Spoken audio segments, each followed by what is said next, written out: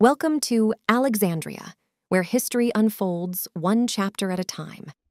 In Chapter 12, The Sabine War, we witness Romulus's prowess and strategic mind as he leads Rome through a series of critical confrontations, setting the stage for the city's expansion and the shaping of its foreign policy.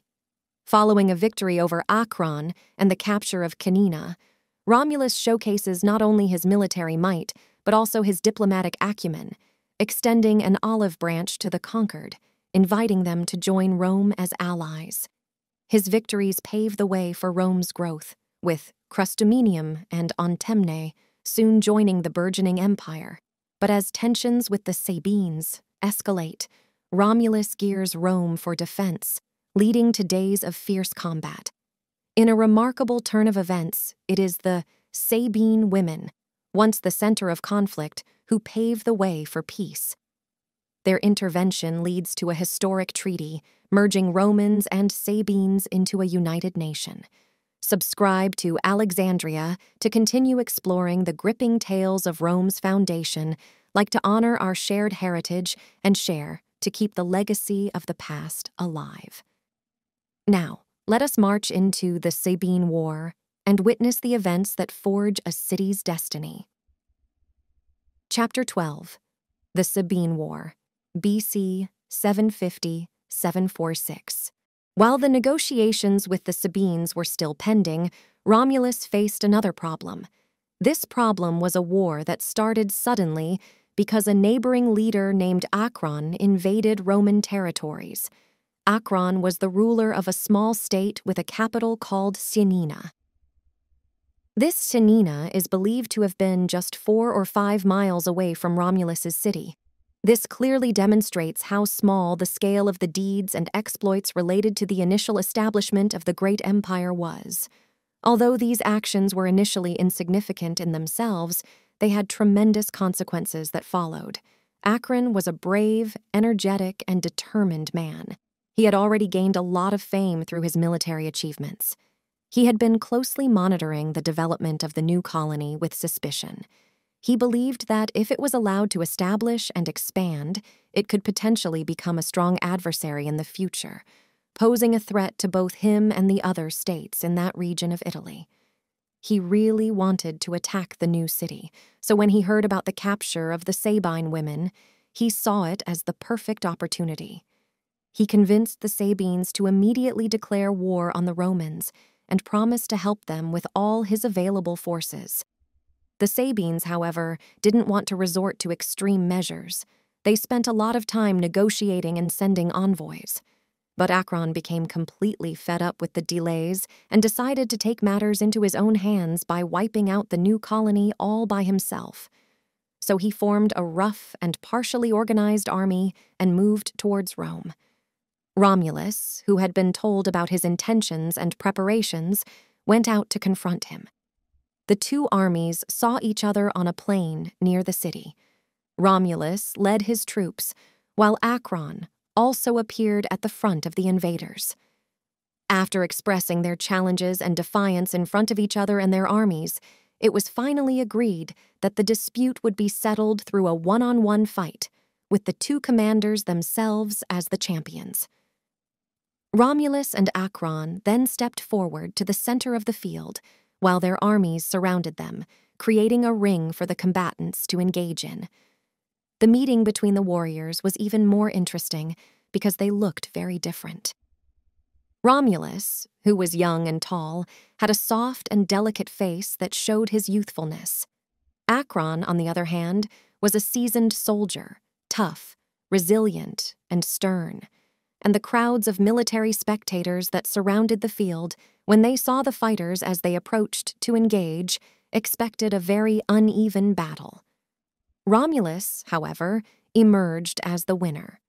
Before entering the battle, he made a promise to Jupiter that if he defeated his enemy, he would credit the god for all the glory of the victory, and he would display Acron's weapons and spoils in Rome as a sacred trophy to Jupiter, in recognition of the divine assistance that led to the conquest.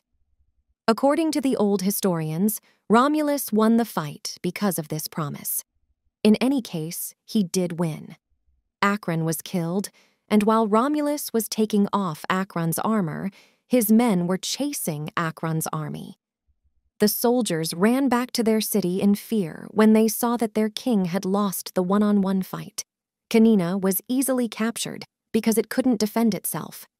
Once Romulus had control of the city, he gathered the inhabitants and reassured them that he had no ill intentions towards them. However, he wanted them to be his allies and friends. He made a promise to them that if they left Cænina and joined him in Rome, they would be treated like brothers and become part of the Roman state. They would also enjoy all the benefits of being Roman citizens. The people of Cænina were initially terrified and distressed when they were captured by their enemies. However, they were eventually transferred to Rome, which helped increase the population, strength, and reputation of the city. This also made Romulus more famous in the eyes of neighboring nations. This triumph over Acron and the addition of his territories to the Roman Empire are seen as highly significant in history. They serve as the model for the Roman state's foreign policy, which was characterized by bravery and vigor in military operations, as well as fairness towards the defeated. This policy was so effective that it allowed the Roman power to expand from one kingdom to another and from one continent to another until it almost spanned the entire world. Romulus kept his promise to Jupiter. When the army returned to Rome, the soldiers followed his instructions and cut down a small oak tree. They trimmed the branches at the top and shortened them as needed. Then they hung Acron's weapons and armor on the tree and proudly marched into the city with it. Romulus walked in the middle of the procession, wearing a crown of laurel on his head and his long hair flowing down his shoulders.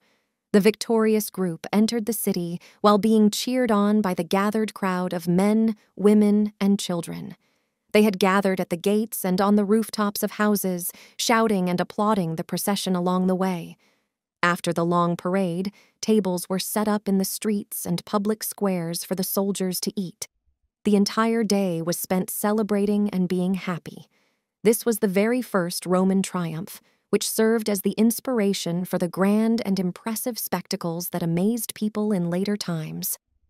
The treasures that were brought in on the oak were placed on a hill in the city as a trophy for Jupiter.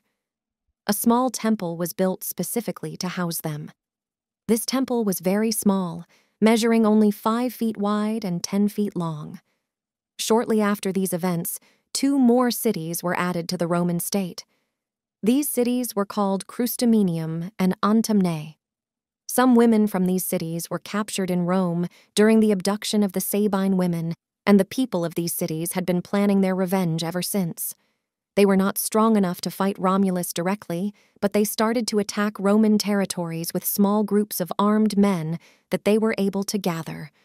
Romulus quickly gathered troops and unexpectedly attacked the city's walls capturing them before the residents could react. He then sent a message to all the women in Rome who used to live in those cities. He asked them to come and see him in a public place in the city, along with the Roman Senate. The women were very scared when they received this summons. They thought that they would be punished with death or something else terrible for the wrongs done by their fellow countrymen. They entered the Senate House, covering their faces with their robes and crying out with sadness and fear. Romulus told them not to worry and assured them that he didn't want to harm them. He said that their people chose war instead of being friends and allies with them, and they lost the war. Now we have them and can do whatever we want with them. But we don't want to hurt them. We forgive them because of you. We plan to ask them to come and live with us and with you in Rome, so that you can be happy again by being with your fathers, brothers, and husbands. We won't destroy or harm their cities. Instead, we'll send some of our own citizens to live there, so they can become part of the Roman community. This way, your fathers, brothers, and all your fellow countrymen can enjoy life, freedom, and happiness because of you. All we ask in return is for you to remain loving and loyal to your Roman husbands and do your best to contribute to the harmony and happiness of the city in any way you can. These transactions gained a lot of attention across the country. People praised Romulus for his bravery when he faced his enemies and for his generosity when he allowed them to join him in an honorable alliance after they surrendered. Actually, a strong public sentiment in favor of the new colony started to form, and many individual adventurers from all parts of the country rapidly started to come to it. In one case, a well known leader named Caelius, who was a general of the Etrurians living north of the Tiber, brought his entire army to join the new colony. New and special arrangements had to be made in Rome to accommodate the sudden and significant increase in the population. As a result, a new area, previously located outside the city, was enclosed and included within the city limits. This hill was named Caelius after the general whose army occupied it. At the same time, the city also expanded on the opposite side towards the Tiber. The walls were extended all the way to the riverbank and then continued along the bank to provide continuous defense on that side, except for one area where there was a large gate leading to the water. Throughout this period, however, the Sabines still held on to feelings of anger and hostility. Instead of being won over by the Romans' patience and kindness, they only became more jealous and resentful when they saw evidence of the Romans' growing influence and power. They worked on their plans to attack the new colony. They wanted to make sure their attack was successful, so they took their time to prepare and plan everything carefully. They recruited soldiers, they gathered supplies and weapons, they made alliances with neighboring states who supported their cause, and when everything was prepared, they gathered their troops at the border and got ready to attack. The leader of this large army was named Titus Tatius. In the meantime, Romulus and the people of the city were busy getting ready to defend themselves. They gathered and stored lots of food for the city. They made the walls stronger and longer and built new walls and towers where they were needed. Numitor helped his grandson by sending weapons and military equipment that were used in those times to attack and defend cities. Both sides were preparing a lot for a determined and intense fight. When everything was ready, the Sabines, before actually attacking as they had planned for a long time, decided to send one more message to Romulus to ask for the women to be given up. This, of course, was just a matter of appearance as they probably knew from past events that Romulus would not agree to such a suggestion. He did not agree. In response to their request, he sent word that the Sabine women were already living happily in Rome with their husbands and friends, and he couldn't consider disturbing them now. After receiving this response, the Sabines prepared for the attack. There was a specific area of land around Rome that belonged to the people of the city and was farmed by them. They used this land for both farming and raising cattle, but mainly for raising cattle because it was a more beneficial way to get food for people in old times compared to farming the land. The rural population of the Roman territory was mainly made up of herdsmen. When the threat from the Sabines became serious, Romulus gathered all these herdsmen and instructed them to bring their flocks of sheep and herds of cattle to the back of the city. They were then confined in an enclosed area for easier defense. So, the Sabine army realized that the Roman territory on that side was empty and quiet when they were about to enter it. They noticed that there was no resistance as they advanced towards the gates of Rome. They moved forward as planned, and when they reached the city, they discovered that Romulus had captured two hills outside the walls. He had fortified himself with a strong force on these two hills, which were called the Esquiline and Quirinal Hills. The city had two other hills, the Palatine and the Capitoline. The Capitoline Hill used to have an asylum and now served as a citadel. The citadel was protected by ramparts and towers that provided a view and control over the surrounding area. The fortress was commanded by Tarpeius, a noble Roman he had a daughter named Tarpeia, whose name later became famous in history because of her involvement in the events of this siege, as will be explained soon. At the bottom of the Capitoline Hill, on the western side, away from the city, there was a large plain. This plain was later incorporated into the city and used as a parade ground called the Campus Martius, which means warfield. This area was now, however, a flat and open land, and the Sabine army moved forward to it and set up camp. The Sabine forces were much larger than the Roman forces, but the Romans were well defended and protected by their walls and fortifications. Titus Tatius realized that there was no practical way to attack them with any chance of success.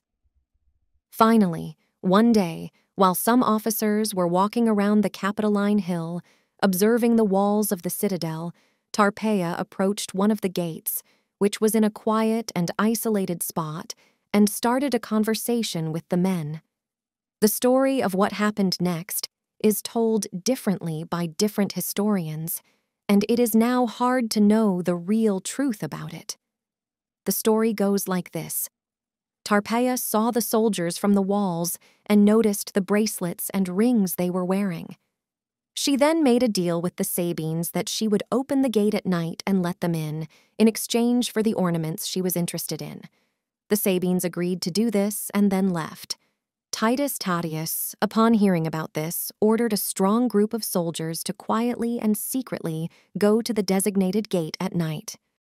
Some writers claim that Tarpeia's apparent betrayal was actually a clever plan to trap the Sabines. They say that she informed Romulus about the agreement so that he could secretly send a strong force to the gate and capture the Sabine group when they arrived.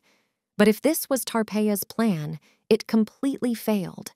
The Sabines, when they arrived at the postern gate that Tarpeia opened for them at midnight, came with enough strength to overcome any resistance and as they had promised to give Tarpeia what they were wearing on their arms, they threw their heavy shields on her until she was crushed and killed.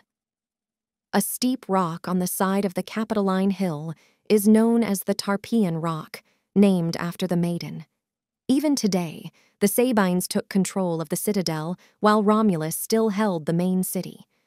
The Romans were very upset about losing the citadel Romulus realized the danger and decided to stop defending and instead face the Sabines on the plain for a battle. He then moved his forces out of the city and positioned them strongly between the Capitoline and Palatine hills, facing the Campus Martius, where the main Sabine army was stationed. In this way, the two armies faced each other on the plain.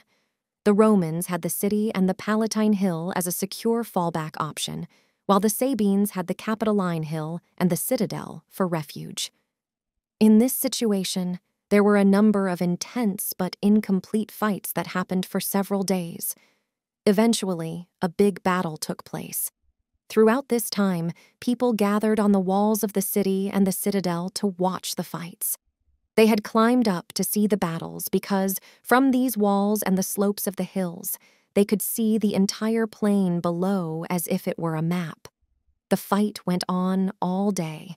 By evening, both sides were tired, and there were many dead and injured on the field. However, no one had won. The next day, they agreed to stop fighting to tend to the wounded and bury the dead. After a day of rest, spent by both sides clearing the battlefield and preparing for the next round of fighting, the battle resumed the soldiers fought with even greater intensity and brutality than before. Several events happened during the day to give either party a local or temporary advantage, but neither side completely won. At one point, Romulus himself was in serious danger, and for a while, it was believed that he was actually killed. The Romans had a big advantage over a group of the Sabines, and the Sabines were running away to the citadel. The Romans were chasing them and hoping to enter the citadel too, taking advantage of the chaos and regain control of the fortress. To stop this, the Sabines inside the fortress and on the higher rocks threw stones down at the Romans. One of these stones hit Romulus on the head, and he fell down unconscious and senseless from the impact. His soldiers were very scared by this disaster they stopped chasing their enemies and picked up Romulus's body, taking it back to the city. Luckily, it was discovered that he was not seriously hurt. He quickly recovered from the impact and went back to the fight.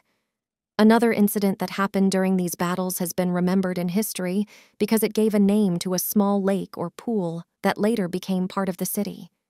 In the past, a Sabine general named Curtius met Romulus in a specific area of the battlefield. They fought fiercely for a long time. More soldiers joined the fight, and eventually, Curtius got injured and surrounded by enemies. He ran away to save his life.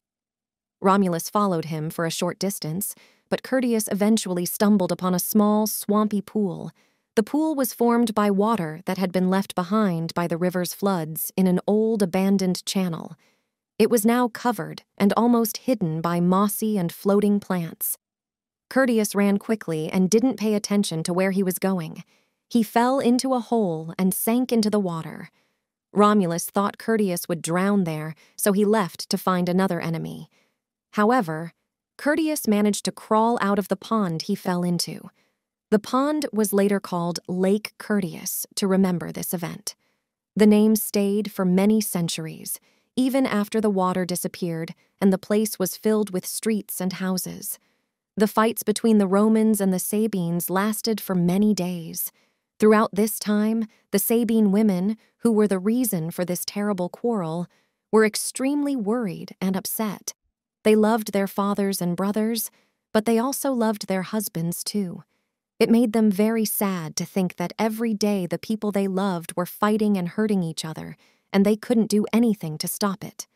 Eventually, after enduring a lot of hardship for several days, a critical moment came when they realized they could intervene. Both sides had grown tired of the struggle. Neither could defeat the other, but neither was willing to give in. The Sabines couldn't accept such a humiliating choice of either leaving Rome and abandoning their daughters and sisters to the captors, or staying and giving up on their plans to rescue them. And the Romans couldn't take those who, regardless of their past, were now living happily as wives and mothers in their own homes in the city and hand them over to an army of invaders who were demanding them with threats and violence without great dishonor. Therefore, even though there was a break in the fighting and both sides were tired of it, neither was ready to give up. Both were getting ready to go back into the battle with more determination and energy. The Sabine women believed they could help. Hersilia, a prominent woman, suggested and organized a plan. She gathered her fellow countrywomen and explained that they should all go together to the Roman Senate. Their goal was to ask for permission to intervene and advocate for peace between the warring nations. The women, accompanied by their young children, went together to the Senate chamber and requested to be allowed inside. The doors were opened and they entered. They all seemed to be very upset and worried.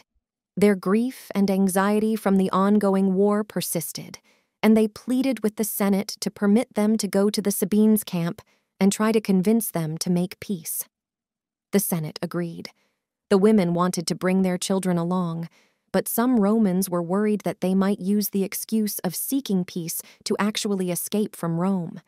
Therefore, it was decided that they should leave their children behind as hostages, except for those who had two children who were allowed to bring one.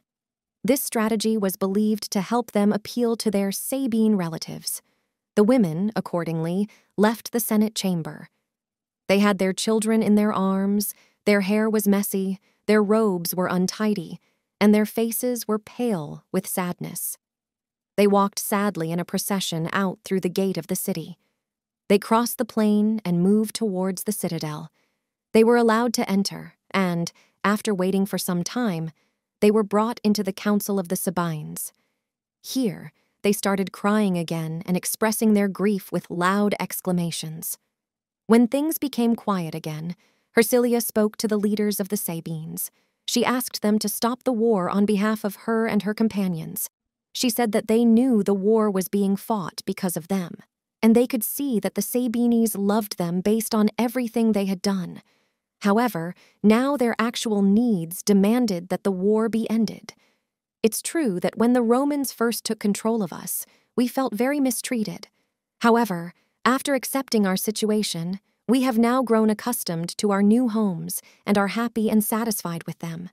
We love our husbands and children, and everyone treats us with kindness and respect. So please, don't try to separate us again out of misplaced sympathy or continue this terrible war. Although it's supposedly for our sake, it's actually making us incredibly unhappy. This meeting had the expected effect. The Sabines and Romans quickly began peace talks, and it is easy to make peace when both parties genuinely want it. In fact, there was a significant change in attitude, so much so that the intense hostility between the two nations transformed into a friendly sentiment. Eventually, a treaty was made to unite the two nations. It was decided that the two nations would be combined into one. The Sabine territory would be added to Rome's territory, and Titus Tatius, along with the main Sabine leaders, would move to Rome, which would become the capital of the new kingdom.